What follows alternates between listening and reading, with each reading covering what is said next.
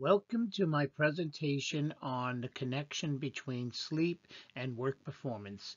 My name is Terrence Shenfield and I have been an education coordinator for respiratory therapy for the last 30 years. I'm also the co-owner of A&T Respiratory Lectures and I hope you enjoy this presentation.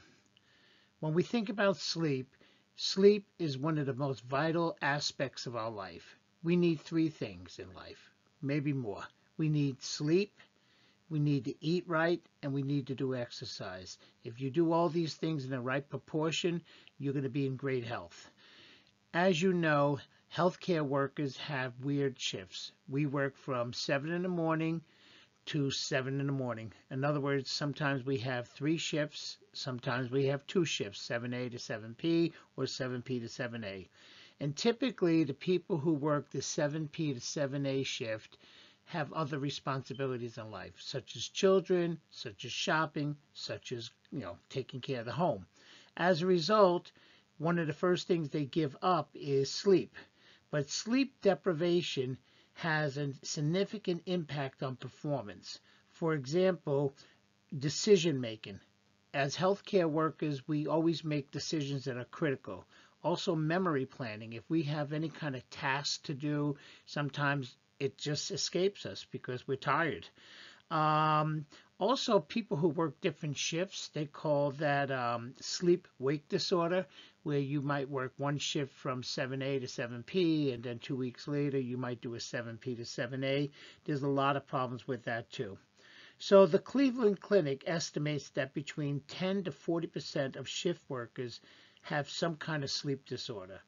And we really need to understand what this is, and we really need to do something about it. So sit back, and I hope you enjoy this presentation.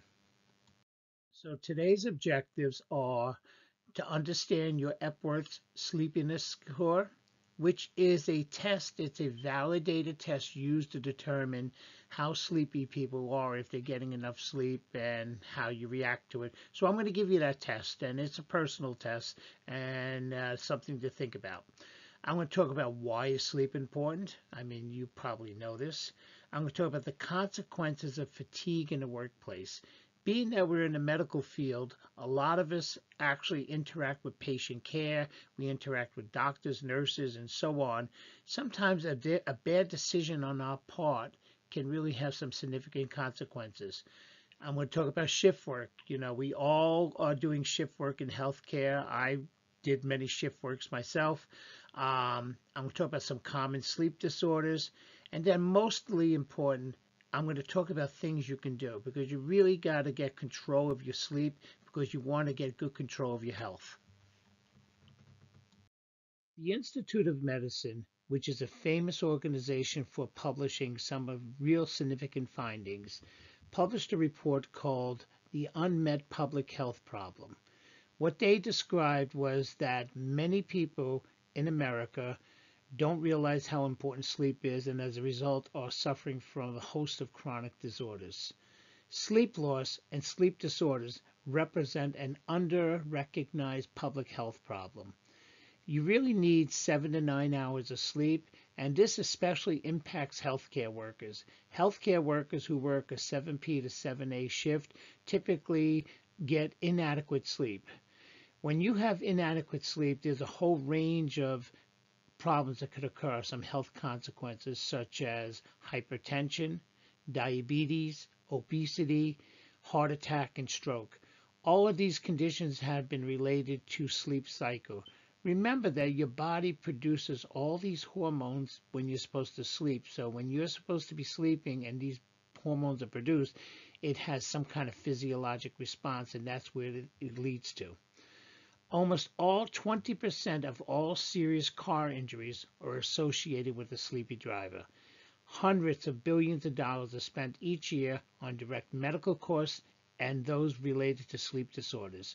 So sleep deprivation is really a big problem in America, and you really got to address it, especially as a healthcare worker. In the United States, approximately 9 million people do shift work. And when you talk about shift work, it's not just exclusive to healthcare workers. There are many other professions in the United States that do shift work, such as police officers, firefighters, pilots, waitresses, truck drivers. So it's not just us who actually suffer from this type of uh, work shift. But as a result of all working these odd shifts, many of there's some chronic diseases that are coming forth with that in all these groups. For example, they have shown that people who do shift work have a glucose metabolism issue. Basically, they're predisposed to diabetes.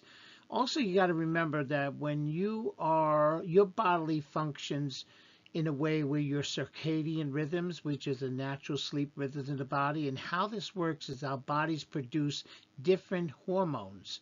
And sometimes these hormones are produced at odd times. For example, when you're up, when you're supposed to be sleeping at two in the morning, these hormones are flooding your system and causing all these kind of physiologic changes, which are not really good. They also have shown some studies that your immune system is weakened with shift changes. For example, people who work shift work are predisposed to infection. Their immunity has gone down. They have problems with their white blood cells and so on. So there's a lot of things going on with shift work. And also from a healthcare worker, probably any kind of worker, when you're up for hours and hours and hours, you're going to have some kind of um, dysfunction in your alertness and your cognitive ability. In other words, when you need to make some critical decisions, you just might be too tired. We all know that if you're going to try to study and read and learn something in the middle of the night, it's really hard. It just doesn't stick. So there's a lot of issues with shift work and we really need to manage if we do happen to work a shift work we really need to be able to manage ourselves effectively to keep as healthy as we can. Sometimes we just can't change anything about it you know that's our job. We got to pay the bills we got to you know we do what we got to do. We all been there. Okay we're going to have a little fun. There i'm going to give you a test trust me, this test is not going to be scored. So the only one that's going to know the score is you. And basically, this test is called the Epworth Sleepiness Scale. And what this is, is a series of questions that could determine whether you're getting enough sleep. And based upon your score is how you could make some kind of intervention. I like to say that this is a validated tool. So when I say the word validated tool, that means that they used this test on thousands and thousands of people and they found it to be quite accurate. So what I need you to do is get a pen or pencil, get a piece of paper. There's going to be a series of questions and at the end of those questions, you're going to add up and come up with your score. Based upon your score, you could sort of make an intervention if you need to do something about your, your sleep habits. So kick back. No one's going to judge this. This is not going to fail you on your CEUs, so make sure you keep a good score if you're really interested. So here we go. So what exactly is the Epworth Sleepiness Scale? Uh, back in 1990, it was developed by an Australian doctor, Dr. Murray Johns, and he had a sleep clinic in Australia. And what he did, he devised this score or this scale to measure some of his patients. And it really turned out to be so successful that many other sleep clinics decided to use this scale. And now it's an international scale used in many different places. Uh, basically, you're going to be given um, a score anywhere from 0 to 24. And based upon your score, that's how you're going to measure how you are. Um, basically, just be honest with the test and answer each question the best you can. And this is your own personal test, but it's a very, very good tool to determine your sleepiness level for the day. Okay, you got your pen and paper? Are you ready to roll? Here we go. Here's the first question. Now, the scoring of this question is 0 to 3. So you would put 0 if there's no chance of you dozing. and you would put three if there's a great chance that you're going to doze. And then you you know you could use a scale. So zero is zero, no chance. Three is a great chance you're going to doze. So first question, you're sitting and reading. What is the chance of you dozing? Think about it and put your answer. Here's your second question. Same kind of scale, the chance of dozing, 0 to 3. So you're watching TV. What's your chances of dozing? Again, put your score.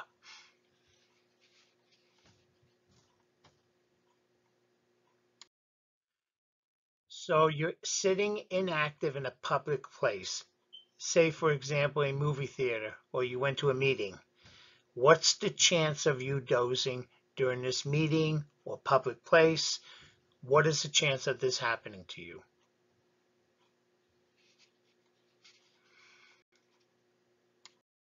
I am sure we all have been passengers in cars and we all took a long drive in the past. So as a passenger, not a driver, you're a passenger in a car and you're driving for an hour without a break, what's the likelihood or the chance of you dozing? Remember, 0 to 3. 0 representing no chance, 3 representing guaranteed.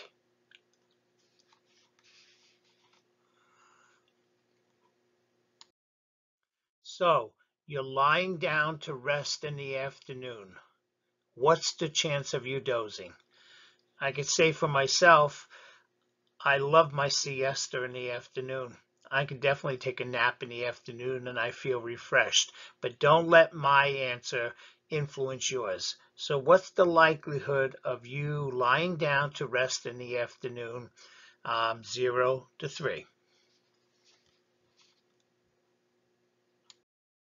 So you're at lunch, you're sitting in your break room and you're talking to someone. What's the likelihood if you're sitting and talking to someone that you take a nap in the middle of that? Zero to three. You know, it's kind of funny. I used to work with a gentleman for years and we sit down and everyone would be talking and he'd be snoozing and snoring right there on the spot. I strongly suspect he has some kind of obstructive sleep apnea because uh, he had all the indications of it. But this is you. Can you sit sitting and talking to someone? What's the chance of you dozing? You're sitting quietly after lunch. You had a nice lunch. You didn't drink any alcohol because we don't allow alcohol drinking on the job. Um, so you're sitting quietly after lunch. What's the likelihood of you dozing? Zero to three.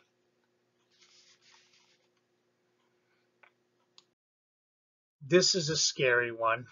You're in a car while stopped in traffic, and what's the likelihood of you dozing? Zero to three. I'll tell you a little story. Uh, years ago, when I worked night shift, I actually worked night shift for three years. Um, I was going home after a shift, and to tell you how dangerously tired I was, I almost swerved off the road. My eyes were so heavy and I couldn't do it. I could imagine if I went to a light and then I was like sort of stuck in at that light for a long time, I might have dozed. But um, yes, it's dangerous. So the question to you, you're in a car, you stopped at the traffic, what's the likelihood of you dozing? Okay, we took the test. So what you need to do is add up all your numbers, right? And whatever your total score is, my next slide is going to talk about interpretation of that score.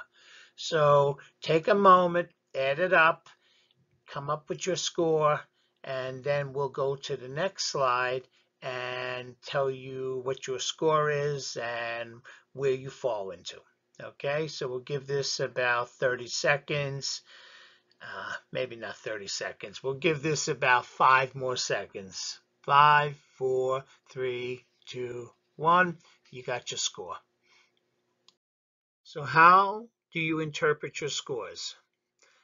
basically, if you have a score of anywhere from zero to seven, that means you are completely unlikely to have any kind of sleep issue.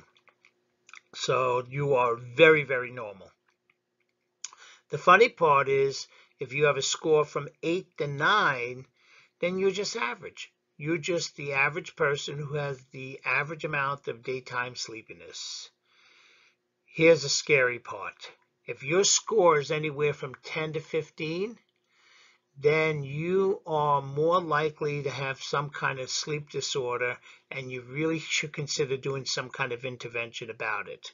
And we'll talk a little bit more about interventions as we go on, but you know, if you're in the 10 to 15 range, you got to do something about it.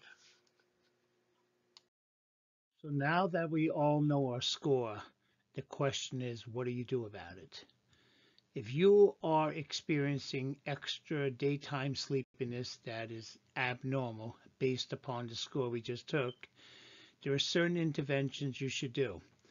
And there are certain consequences that will occur if you don't do it. So let's uh, learn a little bit more.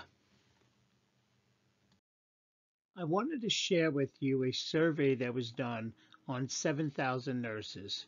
Now I'm talking about nurses, but you know nursing and respiratory therapists work similar shifts. We work in similar areas, so we're probably most likely under similar stress. So they found that nurses who do typically a 12 and a half hour shift, which is actually very common with um, healthcare practitioners such as respiratory therapists, were three times more likely to make some kind of error when they were working. They also said that 80% of them felt tired after work. 55% of them felt tired at work, which is very common. Uh, typically, nurses, just like respiratory therapists, work more than 40 hours a week. And they also found that during a 28-day study that almost all the nurses worked at least one overtime shift. Um, they also said that either two out of three of them actually worked more than 10 or more overtime shifts in 28 days. So the likelihood of working overtime is really high. The likelihood of being really tired is all the time. And these are sometimes the consequences and of working all these hours. And you know, in times when we're short, you know, overtime is abundant and we work our butts off and we make some extra money. Let's talk about statistics on medication and other errors in the ICU. Um, they've done some studies where they show that medication errors and other errors are significantly higher after eight hours of work and even higher after 12 hours of work. So the concept here is that the longer you work, the greater likelihood of an accident. So they done some studies where they looked at when do medication errors occur, when do other type of errors occur, and they found that most of the errors occurred in the later part of the shift. More errors occurred as you approach 12 hours, and less hours occur when you're less than 8 hours. The rate of employee accidents also increases after nine hours of work and doubles after 12 hours. So what they found that they look at previous reports of employee errors and most errors and most accidents that occur with employees again happen at the later part of the shift.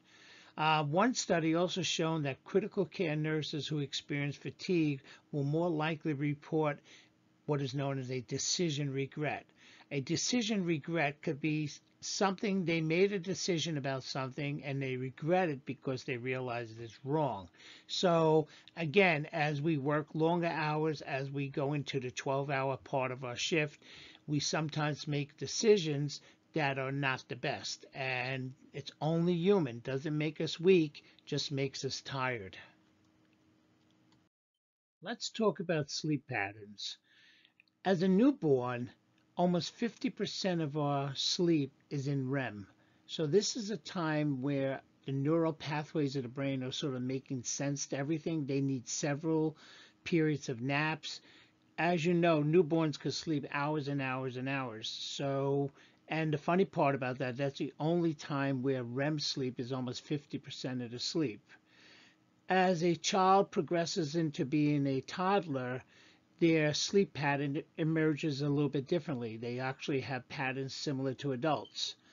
Um, the funny part is once a person becomes a child, and you know, a child could be anywhere from the ages of 8 to 12, um, they need more sleep. And at this point of life, they are actually experiencing tremendous growth. Their bodies are growing, their mind is growing, they have all these neural pathways growing. So they really need some more deep sleep to recover. Um, the funny part about adolescence, as I learned this as I was researching everything, they have a shift in their sleep wake cycle. So, what does that mean? Is typically adults have a pattern of sleep, which I'm going to show you on the next graph. It's the next slide shows a graph of it. But there's a shift with adolescents. So as teenagers with their sleep pattern, they naturally feel sleepy around 11 o'clock. And the problem with that is they got to get up at 6 o'clock in the morning to go to school. They are just naturally geared to staying up later and getting up later yet you know society pushes upon them to get up early for school. They got to catch a bus to school. And you then you tell them at night yeah go to bed. It's eight o'clock or nine o'clock. You got to get up tomorrow morning early when the natural cycle tells them to go sleep around 11 o'clock. So society should change some of the patterns of education for adolescents. As we move into being an adult we need a more regular sleep pattern. I mean the best thing you could do is get yourself into a very regimented time to go to sleep and what time you wake up. I know it sounds boring that you got to be so regimented and keep to a routine, but actually optimum health occurs at this. So as you get older, an older adult, many times you have like chronic diseases, and sometimes with these chronic diseases, you end up taking some medications. And a lot of times medications disrupt the sleep pattern. So the problem with older adults, and there's many, many older adults in the world, is they sleep less efficiently. And what do I mean by sleep efficiency? Sleep efficiency is the amount of time you spend in bed versus the amount of time you actually sleep. So the older adults, yeah, they could go to bed at nine o'clock at night, but if you count the total amount of time asleep, they only slept six hours. That means they lie in the bed awake and they can't fall asleep. So they have very poor sleep efficiency. The best sleep efficiency is around over 85%, so that's normal. So, you know, you could just do the calculation. If you go to bed uh, for eight hours and you actually sleep um, six hours, so it's six over eight, and I don't know what the number is, but the magic number you want is you want to have about 85% sleep efficiency. Our sleep is regulated by two body systems. One of them is called the sleep-wake restorative process, and the other one is called the circadian biological clock. These two systems actually promote sleep and actually also promote when we wake up. So the sleep-wake restorative process is a system where the longer we are awake, the greater the drive is to go to sleep. And the flip side to that is the longer we sleep, the greater the drive is to wake up. When we are awake for many, many hours, our body naturally produces a hormone called adenosine. Adenosine is produced by the brain, and when this is produced, it actually increases the sleepiness level. In regard to the circadian rhythm, this regulates um, wakefulness and sleep by light and darkness. So when the sun comes up and hits your eyes and your optic nerve, it gives signals to your brain, and this sort of wakes us up. At the same time, when it becomes dark at night, um, the optic nerve doesn't get much light, and actually melatonin is produced at this time, and this is a time when you fall asleep. So these two systems work hand in hand with each other. The graph on the right represents a graph of thousands and thousands of people. This is a natural circadian rhythm of people. So as you can see, people at nine o'clock in the morning are wide awake, you know, ready to go, able to do anything. And then as the afternoon comes on, especially around between 1 and 3 p.m., we get a dip. And this dip actually corresponds to a time when many cultures actually do um, siestas. And to tell you the truth, I get really tired between the afternoon. So like if I could take a nap in the afternoon, I jump on it. Also, after the you know after about 3 p.m. we start waking up again, and we are pretty alert almost to about you know 8 to about 10 o'clock at night, and then after midnight we start getting sleepy again. The greatest amount of sleep, the most beneficial sleep, occurs between 2 a.m. and 4 a.m. And then after around 6 a.m., we start waking up again. Now, this graph represents generally what most people feel. Now, I realize some people work at night, and I don't know if this graph changes for them, you know, because actually it impacts their biological clock. So um, that's a special consideration when you think about people who do work night shift. Let's get into a little bit more conversation about the circadian rhythm. The circadian rhythm was first postulated by a scientist, Alexander Borbély, in the 1980s. And basically, he came up with the theory that the circadian rhythm is governed by what is known as an internal biological clock. And during this time, what influences this biological clock is sunlight and darkness, and also the secretion of certain hormones in the body, such as melatonin and adenosine. And they have found that, you know, as the sun hits the optic nerve and works its way into different parts of the brain, certain hormones are produced, such as melatonin and adenosine. And both of these hormones influence sleep. They make you actually feel more sleepy. Um, there are some genetic factors, like some people just don't produce enough of these hormones, or they have um, shift in wake, dark, uh, weight wake and sleep processes. Um, also, some external factors have a great influence on your sleep. For example, um, if you're going to go to sleep, you should not have any kind of light in your room because, again, the light can influence your circadian rhythm. It can hit your optic nerve.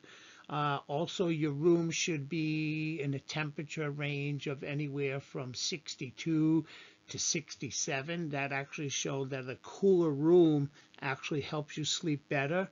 And other factors are such as um, what you eat. You know, if you eat too much right before you go to bed, your stomach you'll be digesting food rather than actually producing the hormones you need for sleep. And but some foods can actually help you, like um, a, a light high protein dish right before you eat is good. Certain drugs you take, some people are on drug medications, uh, pharmaceutical drug medications for illnesses, and that could influence. As I mentioned before, ambient temperatures, it seems like you could sleep much better. Studies have shown that if your room is cool, and even if you put a blanket on yourself, that could help you. And this talking about blanket, they did some research where they showed that sometimes a heavy blanket can actually cradle your body and, and, improve your sleepiness. And actually, they've been, if you go to Google, you'll see so many people selling these sleep blankets. Um, naps, if you take a nap, it's nothing wrong with a nap, but if you take a nap for two hours in the afternoon, uh, you're going to pretty well be, be awake at night. Um, stress can impact you. I mean, um, we all have stress, and the funny part with me is that anytime I'm really stressed, it comes out of my sleep. So I try not to engage in any kind of serious conversation after 7 p.m. Um, sometimes it drives my wife nuts because she wants to talk about some serious stuff, and I'm saying, "Oh, please, let's talk tomorrow morning," and she works with me. Um, creating a schedule is like really important. So it's not what it's not how important what time you go to bed it's what time you wake up. So you really got to create a routine for yourself. And most people need between seven and nine hours of sleep. But i don't care what you say that i could get by with five you're actually hurting yourself. You're actually creating a scenario called sleep debt which i'm going to get a little bit more into. But creating a schedule even a boring schedule is perfect um, so try to go to bed at the same time and try to get up at the same time. And um, I used to sometimes not use an alarm clock.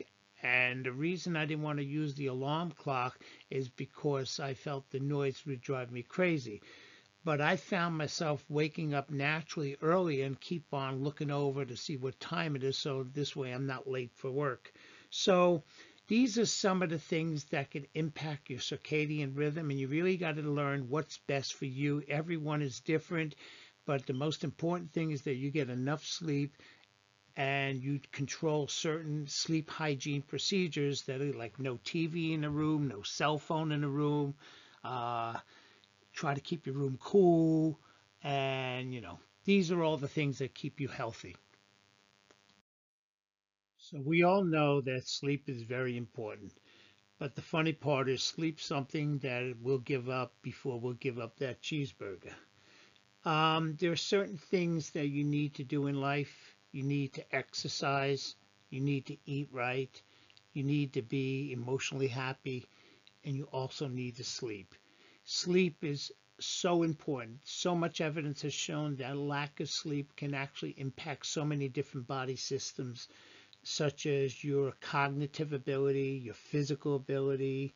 It could actually, if you're trying to learn and you're really tired, you won't you, your memory consolidation won't work. You won't be able to pull facts together that you studied.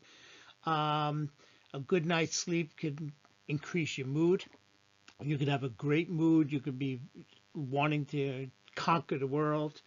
And there have been studies showing that if you don't get enough sleep, it could actually decrease your immune system so you're more prone to infection. And you know we all need to keep strong. Um, other studies showing that if you don't get enough sleep it's related to diabetes weight gain um, so many different areas uh, as a result of not sleeping. So we all know how important sleep is, and we all know how we feel when we have a great night's sleep. We could conquer the world. And so make sleep an important issue in your life. Make it so that you spend an adequate amount of time sleeping so that you get a great amount of time doing the things you like to do. Have you ever heard of sleep debt? I'm sure you've heard of financial debt. And the difference between sleep debt and financial debt is that you could pay back financial debt to zero, where in sleep debt you can never make it up. Once you're lost, you're lost. Um, studies have shown that the average person needs anywhere from seven to nine hours of sleep. I know so many people say that, oh, I could get by perfectly on five hours, but that's really not the case. Um, they've done studies where they had thousands of people who were in studies, and at, they showed that the average person really needs anywhere from seven to nine hours of sleep. And if you don't get it, you'll get what is known as sleep debt. Um, how you determine how many hours of sleep you need is you have to look at your personal profile.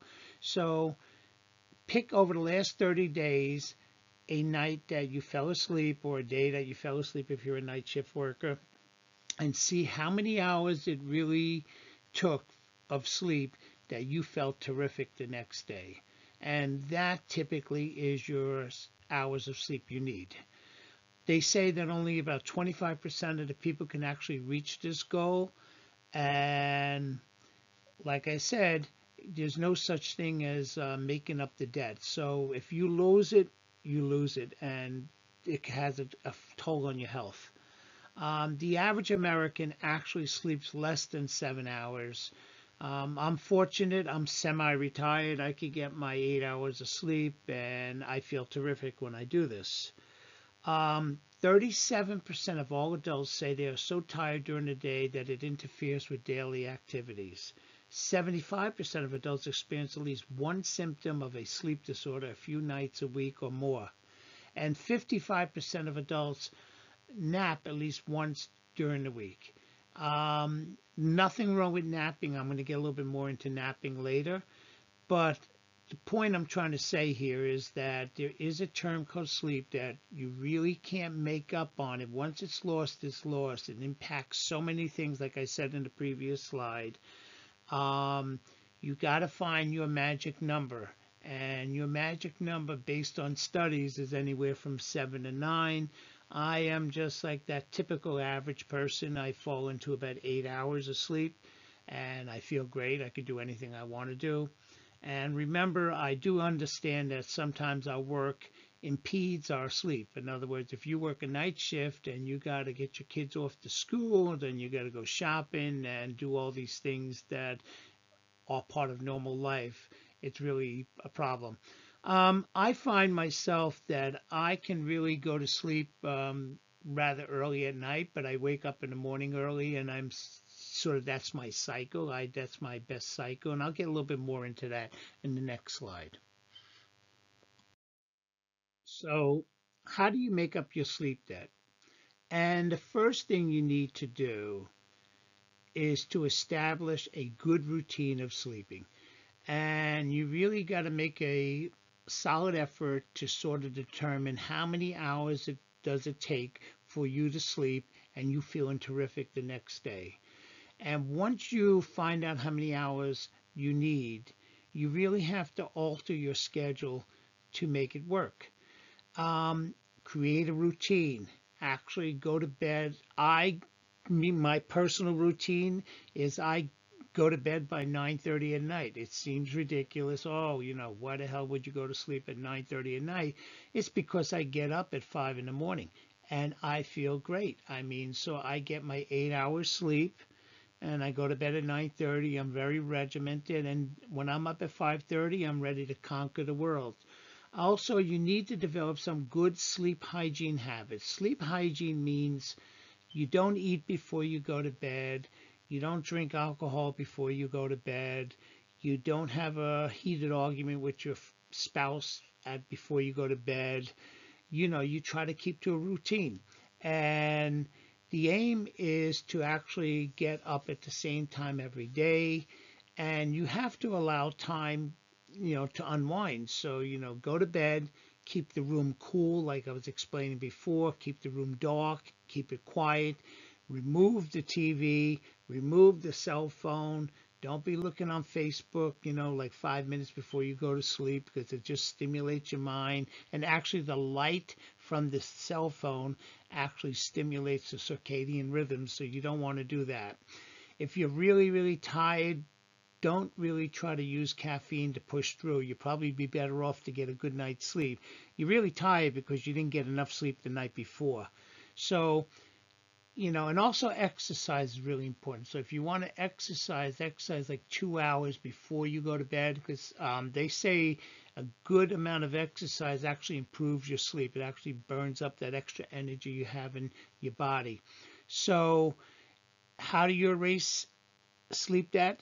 You make sure you have a routine that gives you the adequate amount of sleep you need to survive. So I have a question for you. Are naps good for you? And the answer is yes, they are very good for you. A nap is going to sleep anywhere from 15 to 90 minutes.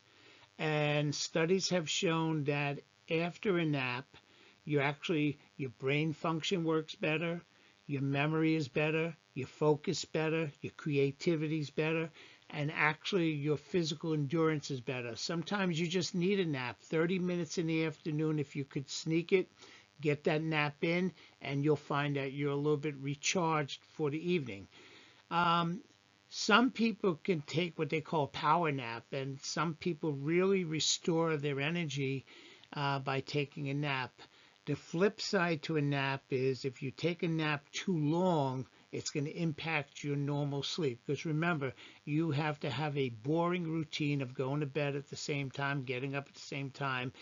When I call that boring, it's only a play in words because actually you'll be supercharged all day if you have a proper amount of sleep.